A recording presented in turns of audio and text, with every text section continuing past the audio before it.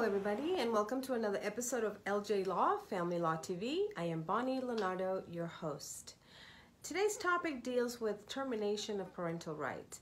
I have received a lot of um, inquiries as to terminating parental rights uh, recently, and I believe it stems from the um, COVID 19 and the stay at home orders.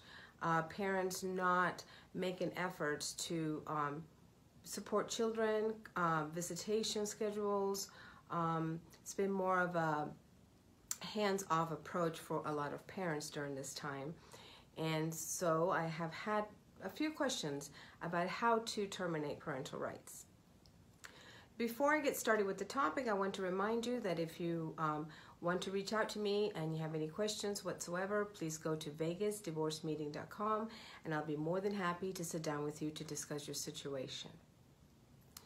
So terminating a parent's rights um, is a very serious matter and the courts have referred to it as the civil death penalty. Uh, therefore, the courts take extreme and cautious steps before granting a request to terminate parental rights. Parents' rights are a constitutional right, and thus, before a court can terminate a person's uh, parental rights, um, a trial must be held if that person, if that parent is challenging that termination. To terminate parental rights, a petitioner must prove by clear and convincing evidence that termination is in the child's best interest and that parent's fault exists. That is what the statute states.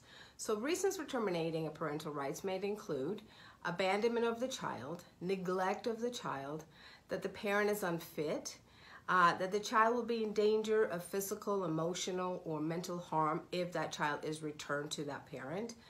Um, the parent has made minimal efforts to communicate or support the child. If the child was removed by CPS and the parent has failed to correct the problems for the removal within a reasonable amount of time, uh, CPS can ask the judge to terminate that parent's rights. And if there has been sexual assault, for example, if the child was conceived as a result of a sexual assault and the parent was convicted for sexual assault, then it's possible to terminate that parent's rights. If parental rights are terminated, uh, the parent-child relationship will cease to legally exist. This means that the parent-child relationship no longer exists the parent no longer gets to raise that child. The parent usually has no right to visit or talk with that child. Uh, the parent uh, no longer has to pay child support. The parent is removed from the child's birth certificate. The child can be adopted without that parent's permission. So as you can see, there are a lot of um, prohibitions once a parental right has been terminated and therefore it is uh, why the courts take it very seriously and um, e equal it to a civil death penalty because it is a big thing to terminate a parent's rights. If you have questions about this topic or any other family topic, or if you have found this video to be helpful, uh, please like it. If you know someone who can use this information, please share it. And as always, I would like to thank you for tuning in and I will see you next time.